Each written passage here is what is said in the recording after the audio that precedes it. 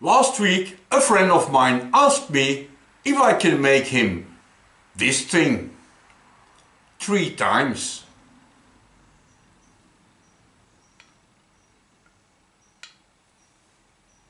Yes, I can. Now, I have absolutely no idea what it is. It's just uh, some kind of a thing with two flats and if I got it right, this side goes in a drill chuck.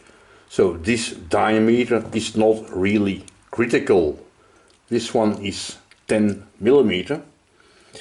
And this diameter here we have almost 15 and the rim we've got here 18.5 total length 47 right the idea is to put this thing here in the lathe and then start with the biggest diameter of uh, what did we say here 18.5 and then cut the three pieces out and do the other features and of course it starts well. Putting a hex in a four jaw chuck, that doesn't work very, very well. It works, but you know, I think it's better to put on the three jaw.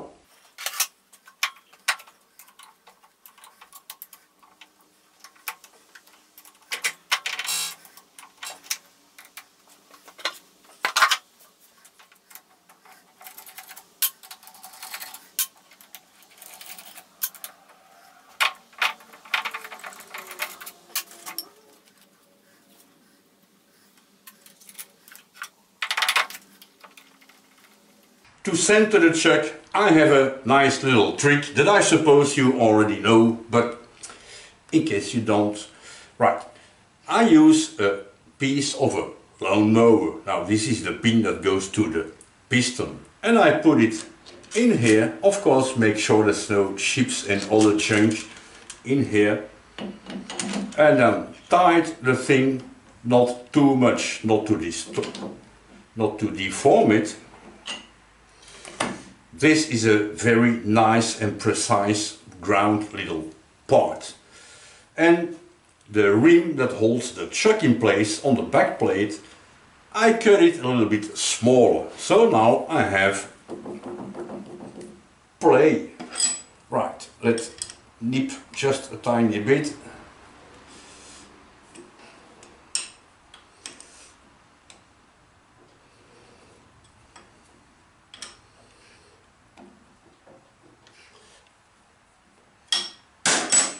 test doesn't move.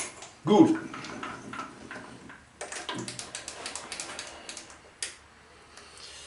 And now, now all I have to do is tap the thing so that here my, the needle of my dial indicator doesn't move anymore.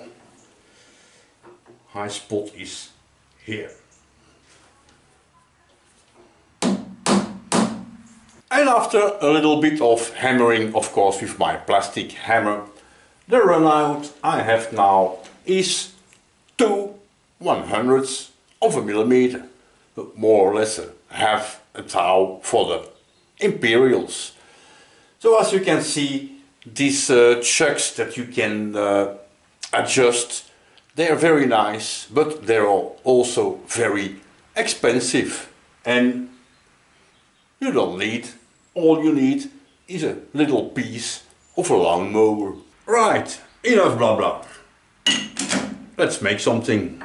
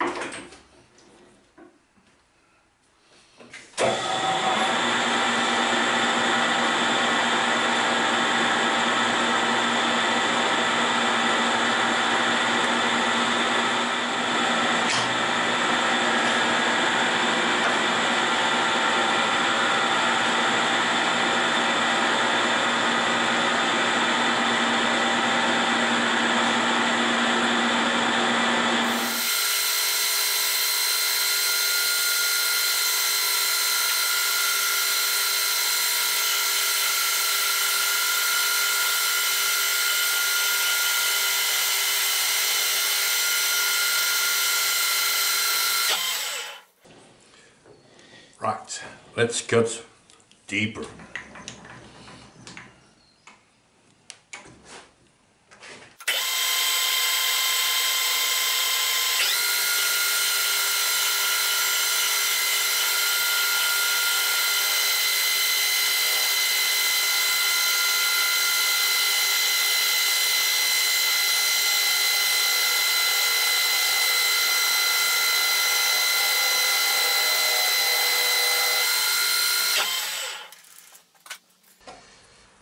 This one we said was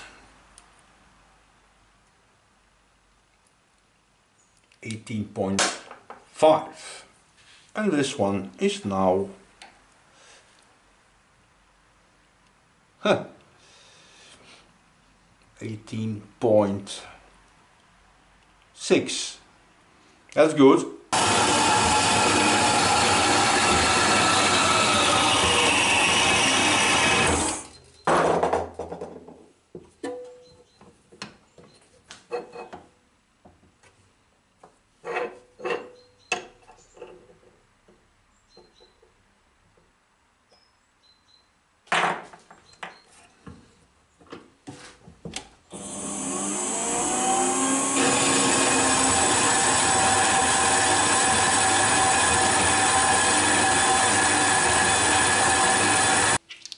And here they are.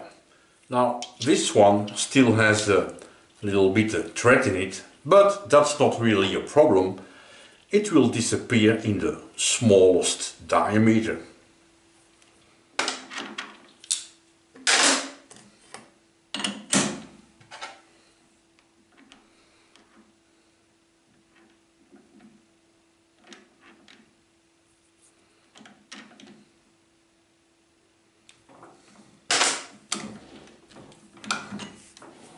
And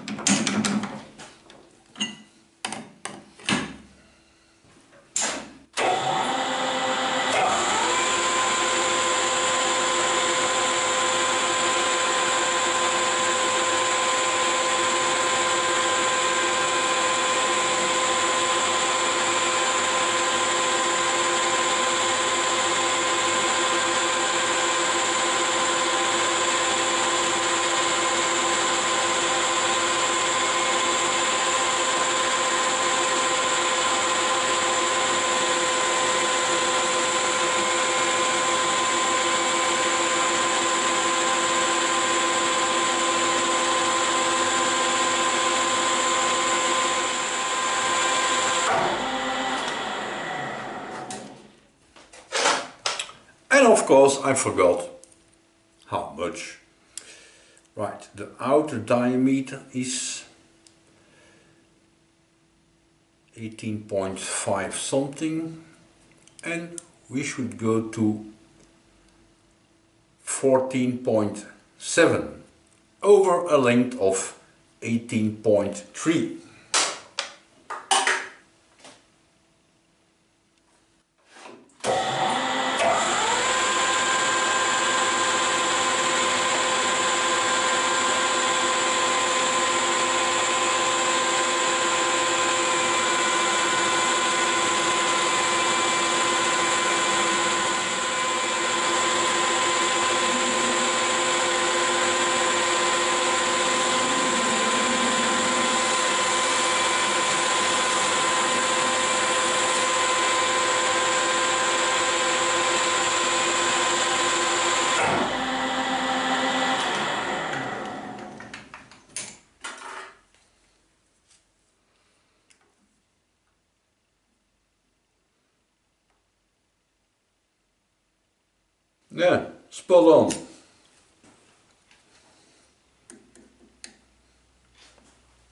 In here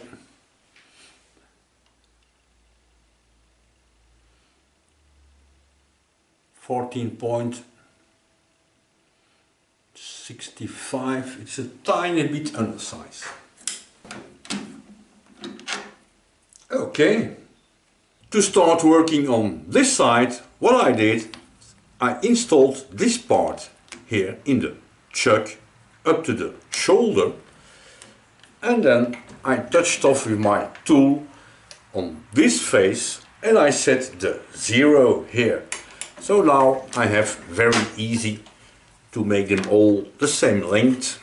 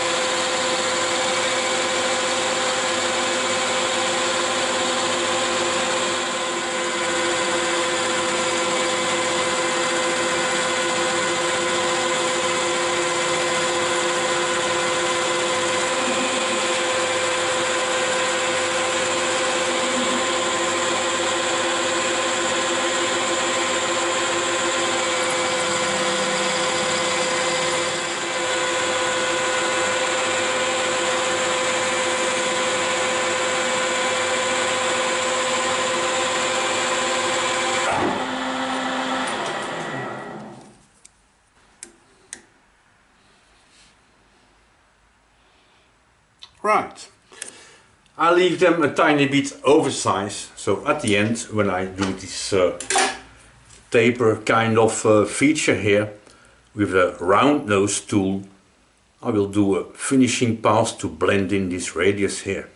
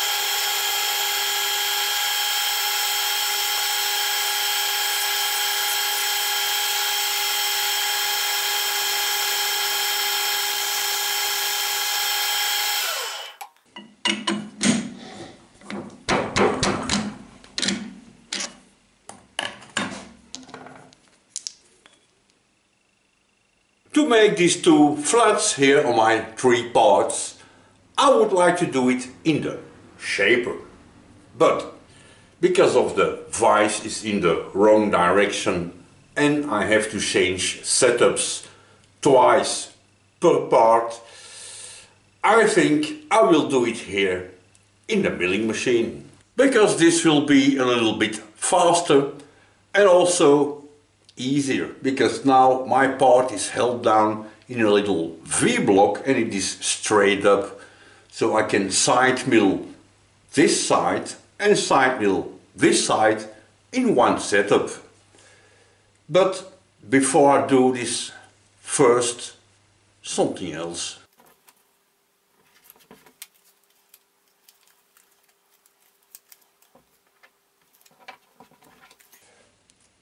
These are not YouTube channels, but still, of course they're more than welcome on the cheap door.